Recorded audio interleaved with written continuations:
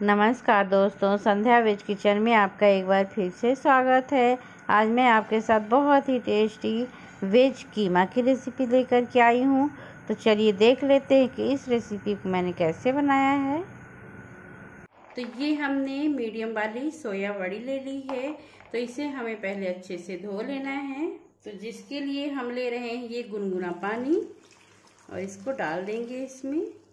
और इस तरीके से इसे थोड़ा सा भिगा देंगे अच्छी तरीके से ताकि जो हमारी बड़ी है अच्छे से भीग जाए। तो ये हमारी बड़ियाँ बहुत ही बढ़िया तरीके से भीग गई है। तो एक बड़ी को हम चेक कर लेते हैं कि फूली है कि नहीं। तो ये ये देखिए इस तरीके से हो गई है मतलब अच्छी तरीके से फूल गई है। तो इसे हमें निकाल लेना है दूसरे बर्तन में। तब तो अब हमें इसे इस तरीके से अच्छे से निचोड़ निचोड़ करके एक बर्तन में निकाल करके इसे रख लेना है। तो सारी बड़ियों को हम इसी तरीके से निचोड़ लेंगे, इसका पानी पूरा निकाल देना है। तो सारी बड़ियों को हमने इस तरीके से निकाल करके रख लिया है एक बर्तन में आप देख सकते हैं। और एक दबाकर आपको दिखा देती हूँ। तो ये देखिए, पूरी बड़ी हमारी बहुत ही बढ़िया तरीके से फूल गई है, बिल्कुल भी इसमें गांठे नहीं हैं। एक मिक्सी का जार लेंगे और उसमें हमें डाल देना है इन बड़ियों को। हम इन्हें दो बैचों में पीसेंगे क्योंकि हमने बड़ी थोड़ी सी ज़्यादा ली है। तो इसे हमें अच्छी तरीके से पीस लेना है। तो इसे खोल लेते हैं। तो ये लीजिए, हमारी बड़ी बहुत ही बढ़िया तरीके से पीस चुकी है। तो इसे एक बर्तन में निकाल देते हैं और इसे हमें निकाल लेना है। तो दोनों बैचेस हमने पीस करके तैयार कर लिया है। और अब हमें इसी मिक्सी जार में पीस देना है टमाटर।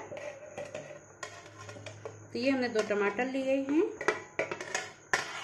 पाँच छः लहसुन की कलियाँ, एक हरी मिर्च। तो ये लीजिए टमाटर को भी हमने अच्छी तरीके से पीस लिया है। तेल गरम होने के लिए रख दिया है, हीट आने लग गई है, तेल हमारा गरम हो गया है। इसमें डाल देंगे थोड़ा सा जीरा। जीरा को थोड़ा सा इस तरीके से हिला लें। दो बारीक कटी हुई प्याज डालेंगे। प्याज को बहुत ही बढ़िया तरीके से भूनना है। मतलब बिल्कुल सुनहरी हो जाए प्याज जब तक आपको भूनना है प्याज को इस तरीके से। तो ये लीजिए फ्रेंड्स, हमारी प्याज जो है बहुत ही बढ़िया तरीके से भुन गई है, आप देख सकते हैं। बहुत ही प्यारा सा कलर आ गया है, बिल्कुल गोल्डन हो गई है। तो प्याज को आपको इसी तरीके से भूनना है। आधा चम्मच हल्दी पाउडर, गैस को थोड़ा सा धीरे कर देंगे। एक बड़ा चम्मच धनिया पाउडर, एक छोटा चम्मच लाल मिर्ची पाउडर इन सारी सामग्रियों को अच्छी तरीके से, इस तरीके से मिक्स कर लेना है। पिसा हुआ टमाटर डालेंगे मिक्स करेंगे, आधा चम्मच नमक डालेंगे मिक्स करेंगे। इन सारी सामग्रियों को अच्छी तरीके से पका लेना है। गैस की फ्लेम को तेज कर देना है और इसे अच्छी तरीके से पका लेना है मसाले को। तो ये देख लीजिए, मसाला भी हमारा बहुत ही बढ़िया तरीके से पक चुका है, चारों तरफ़ से तेल। छोड़ने लग गया है। अब इसमें डाल देना है दही। तो ये आधी कटोरी हमने दही लिया है, वो डाल देंगे। गैस को धीरे कर देंगे इसे अच्छी तरीके से मिक्स कर लेंगे। तो हाथ जल्दी जल्दी चलाना है थोड़ा सा ताकि फटे नहीं दही। और गैस को धीरे कर लीजिएगा, नहीं तो बहुत ही जल्दी दही फटने लग जाता है। इसे इस तरीके से अच्छे से चला लेना है। और थोड़ी देर इसे और पका लेना है दही को भी डालने के बाद। अब गैस को तेज कर देंगे। तो ये आप देख सकते हैं, बहुत ही बढ़िया हमारी ग्रेवी पक कर के तैयार हो गई है। बड़ी डाल देंगे इसमें। और इसे भी अच्छी तरीके से भून लेना है थोड़ा सा तो ये लीजिए, सोया चंक्स भी अच्छी तरीके से भुन गया है। आप इन सब का कलर देख सकते हैं कि कितना प्यारा सा लग रहा है। तो इसे हमें निकाल लेना है एक बर्तन में। तो फिर से वही वाली कढ़ाई हमने चढ़ा दी है और एक चम्मच तेल डाल दिया है। तो उसमें हमें डाल देना है मटर। तो मटर को अच्छी तरीके से भून लेना है। इसे थोड़ा सा भूनना ज़रूरी है, नहीं तो ये अच्छा टेस्ट नहीं देगा फिर तो इसलिए हम इसे थोड़ा सा भून लेते हैं। मटर हमारा बहुत ही बढ़िया तरीके से भून गया है तो इसमें हमें डाल देना ये अपनी बड़ी जो हमने भून करके रखी है। और इन सबको इस तरीके से थोड़ा सा मिक्स कर लेंगे। और अब इसमें हमें डाल देना है पानी। थोड़ा सा पानी हम इसमें और डालेंगे। तो इसमें पानी का कोई माप नहीं है कि आपको पानी कितना डालना है। बस आप अंदाजे से पानी डाल दीजिए। ढक देंगे इसे इस तरीके से। इसे खोल लेते हैं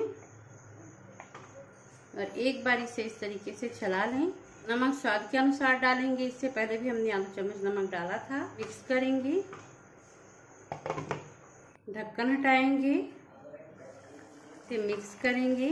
गरम मसाला डालेंगे। फिर से इसे इस तरीके से मिक्स कर देंगे। बहुत ही बढ़िया कीमा बन करके तैयार होता है। तो एक बार आप इसे ज़रूर बनाइएगा। आपको बहुत पसंद आने वाला है। फिर से इसे ढक्कन से थोड़ा सा कवर कर देंगे। गरम मसाला डालने के बाद बस आपको इसे दो तीन मिनट ही पकाना है।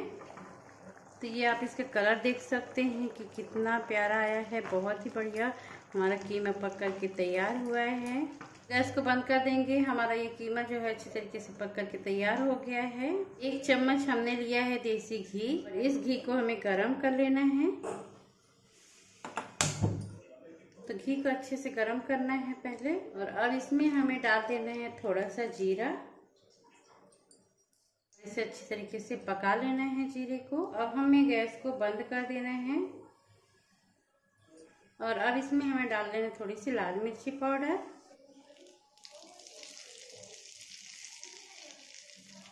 और अब हमें फिर से इसे खोल लेना है। और जो ये हमने तड़का तैयार किया है, वो हमें इसमें डाल देना है इस तरीके से। ये आप देख सकते हैं कि बहुत ही बढ़िया तरीके से कलर आया है। और इसे इस तरीके से चला लें एक बार। थोड़ी सी बारीक कटी हुई धनिया की पत्ती डाल देंगे। तो ये लीजिए, हमने इसे इस तरीके से सर्व कर लिया है। तो एक बार आप इसे ज़रूर बनाइएगा, आपको बहुत पसंद आने वाला है। तो अगर आपको हमारी रेसिपी अच्छी लगती है तो लाइक कर दीजिए। चैनल में पहली बार आए तो सब्सक्राइब कर दीजिए, बेल आइकन पे क्लिक कर कॉल पे सेलेक्ट कर दीजिए, ताकि जो भी नए नए रेसिपी के वीडियो ले करके आती हूँ, आपको सबसे पहले मिले।